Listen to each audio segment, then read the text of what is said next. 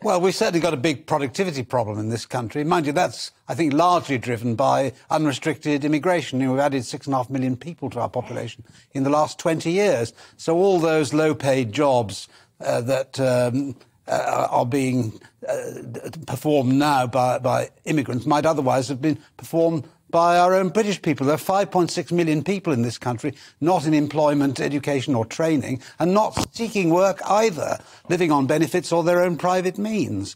Um, you know, this is a society which is in terminal decline in many, many ways with those attitudes. Know, I think we on this panel, and indeed yourself, Mark, are an inspiration to the country because here we are, nearly 10 o'clock on a Friday evening, and we're all still working.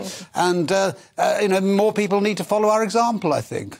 Yes, I wonder whether, whether this is generational, Aisleyne, because uh, Twitter uh, and, and, Elon Musk, who's just taken over, has fired half the staff, and no one's noticed. It would seem they didn't do much. Um, yeah, I agree, but I think it's interesting that Mark Zuckerberg made 11,000. Uh, uh, redundant at Meta at the same time, mm. and no one's making as much of a fuss about yeah. it because it's him. I think Elon Musk is just an easy target because he's the richest man and has his own opinions.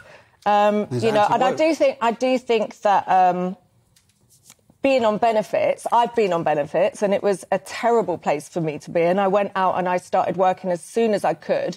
I think benefits are brilliant for people that really need them. But if I'm honest, I think that people use them as a crutch now and uh, are just too lazy to go to work because we make it too easy for them to be on benefits and have all their bills paid. But that's a terrible thing to say because it's just basically wrong.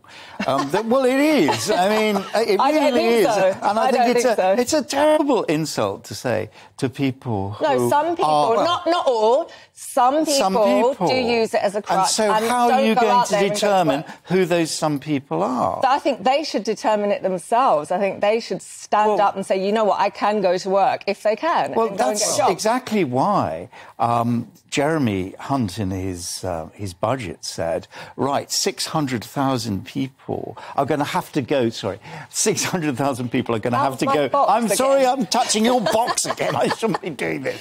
Stop it. Fun. Right, we've okay. got it all on video. Yeah, okay, all right. But look, 600,000 people are going to have to go to, to job coaches. You know, one in five people in this country are inactive um, you know, for jobs. And that's really scary. We've got the lowest level of uh, unemployment, which is about 3.6% we've ever had. When Neil and I were in employment, there was over a million people who are unemployed. And this is one of the, di- sorry, uh, this is one of the difficulties that we've got at the moment. And for Neil to say, oh, well, we don't need the immigrant workers.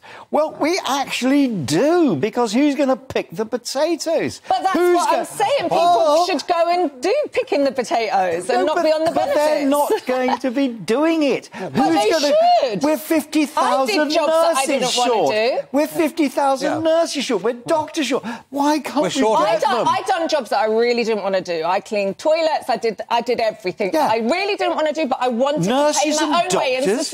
in what's society. So, what's so terrible about those nurses and doctors But I mean, there are coming two, over?